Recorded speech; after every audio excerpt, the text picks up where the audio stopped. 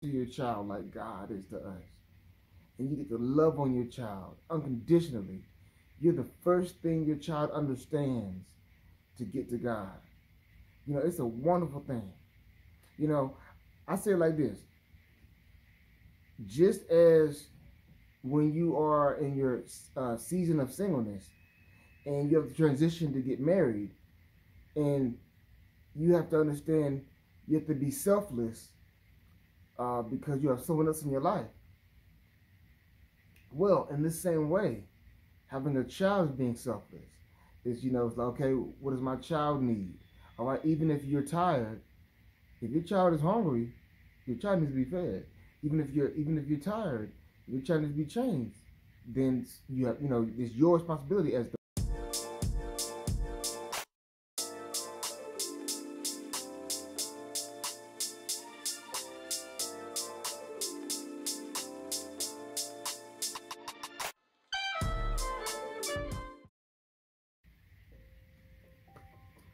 To Butterfly Ambassadors. This is Carlton Cogdell. I am the husband of Jelissa Cogdell, and my wife has given her experience on what it's like being pregnant for the second time. And I'm going to give my reaction to when I found out about the uh, pregnancy. And I'm also going to give some advice and some tips and some wisdom to men who maybe your first time becoming a father or just how to do it the Christian way and how to trust God. So first, before we do anything, we're going to pray. So let's pray. Lord God, we love you. We thank you for who you are, Lord God. Thank you for all things. Have your way, God. Be blessed, be glorified. Have your way, Lord God. May you touch all who watch today, male or female, Lord God. Help them if they already have children or if they haven't had children yet and they're waiting on you and so they can trust you in anything that they're trusting you for. May you the glory once again, Lord. In Jesus' name, amen. All right. So, first, my reaction to when I found out the news that my wife was having our second child, or being pregnant with our second child, should I say. So, for me, um, you know, being that, you know, I'm so, you know, we're so dedicated and focused on what we do and, and that we have our first child who, by the way, is going to be turning one on September 1st. And, you know, that, that's, that's, that's what's on my mind and everything. And I do admit I was surprised when she, when she gave me the news and, and the way that she sh showed me, she, um, she showed me a video that she had made when she did the pregnancy test and showed how the test had, you know, showed that she was pregnant. Um, but prior to, maybe about a week or so prior to, I noticed my wife was having some symptoms. She was feeling very tired, and well, that was the main. She was just so tired. That was the biggest thing I noticed. She was tired, like more than usual.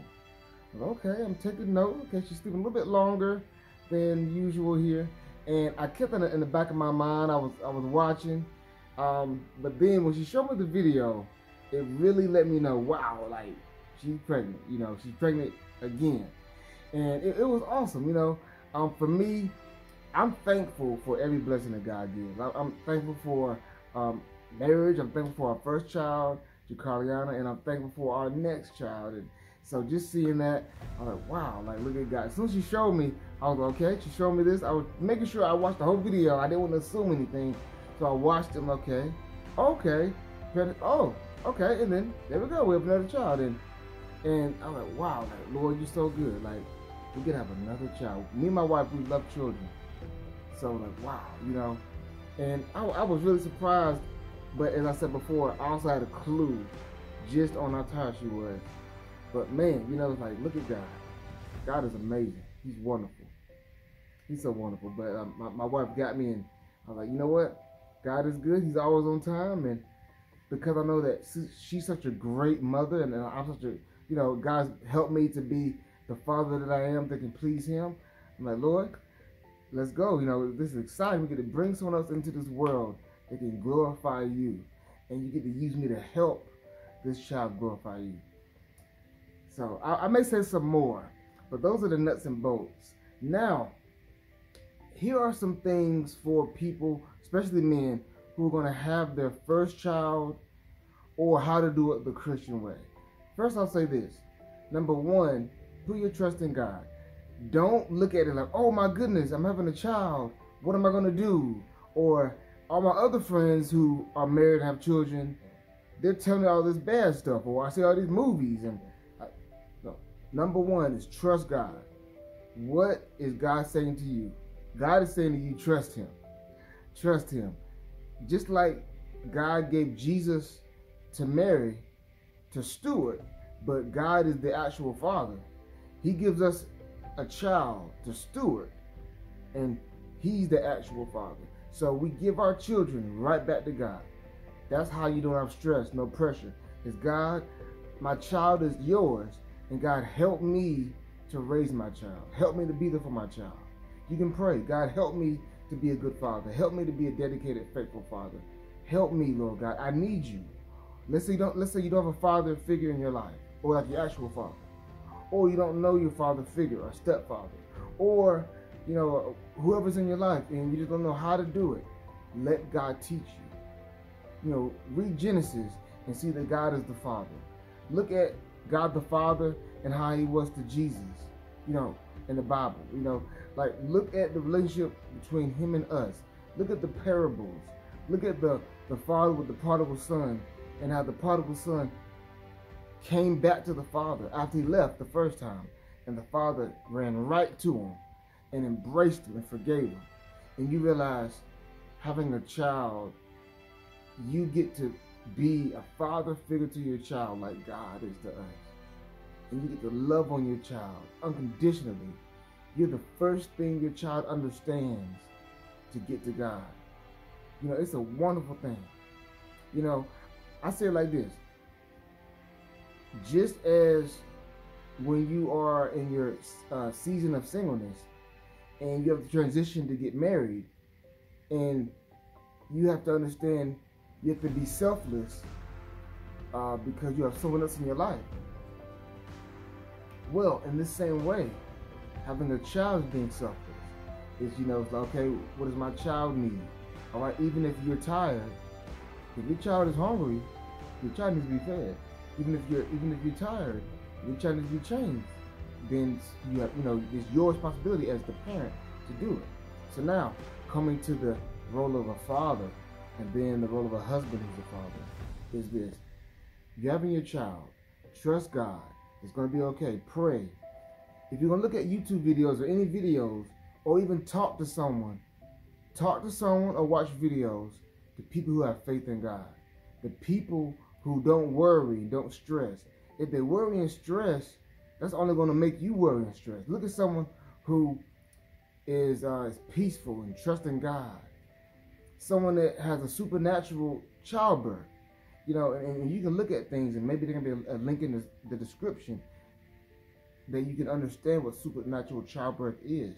But you want to you want to feed yourself the right thing so you're not scared and fearful and worried. No, trust God. He's with you. Guess what? Financially, oh man, now I got to get diapers and I got to get bottles and clothes and all these things. And I got to provide for my child, you know, for years and years and years and years, right? Until they move out the house, right? And and now I, I have to I have to give wisdom to my children. They're to ask me questions. Dad, where's the scripture in the Bible? Oh man, oh I gotta help in school, or all this stuff, or with life events. Guess what? All those things, God will help you out with all those things. Trust God; He'll do it. Don't look at your own strength and think, "How do I do this myself?" No, God's here to help me. The Holy Spirit's here to show me. So that's how you trust God with having a child. Don't look at it as a bad thing. It's a great thing. It's a blessing of a child. Look at it this way. God trusts you like he trusted Mary. Like he trusted Mary to have Jesus. He's trusting you to have your child. He's trusting you. So know that God's equipped you to be able to be there with your child. So it's a blessing. Now, let's say it's not your first child. It's still a blessing.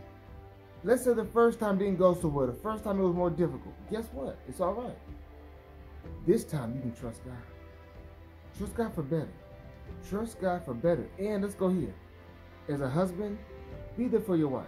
So your wife um, needs encouragement, or your wife needs understanding, or maybe God will speak to you to speak to your wife, or maybe she needs you to go to the store to grab something for her, for the baby, or for her. Maybe you need to grab something to eat for your wife because, you know, maybe her taste buds may change or something, or maybe she's not hungry at the moment, or maybe she needs to drink water.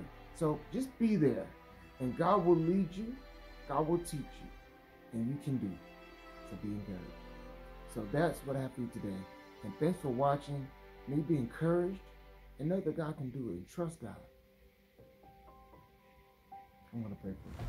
Lord God, we love you. Thank you for who you are, Lord God. Thank you for all things. Either for those who are watching, whatever they watch, male or female, husband or wife. God, may they trust you when they have their child. And not worry and know you're with them. May they know, Lord God, that they can trust you and that you are the protection, not a shot, not a mask. You are the protection. So they have no need to fear. In this age of where a lot of people are fearing, may people trust you. May people trust you with their children, knowing that their children are safe because you're the one that protects. Your protection is bigger than a vaccine. Your protection is bigger than a mask. Your protection is bigger than isolation and trying to quarantine. Your protection is number one. And your wisdom. Lead your people. Have your way, Lord God. We love you, Lord God. We praise your name. In Jesus' name. Amen. Now you've heard this. Take heed to the word on today. May you be blessed. Know that God loves you. God has so much for you. You don't be, you do not have to be afraid. Just listen to what God is saying. Have your way, Lord God. We love you, God. And thank you for listening. Have your way, Lord God. Again. And thank you for watching Butterfly Ambassadors. And just like and subscribe. And also hit the notification button as well. So you can see the videos firsthand. And know these videos are anointed and blessed because God is speaking. Whether they're videos, cooking videos, whether they're hair videos, whether they're videos of Monday motivation, whatever the videos are, they will bless your life if you apply. Be blessed.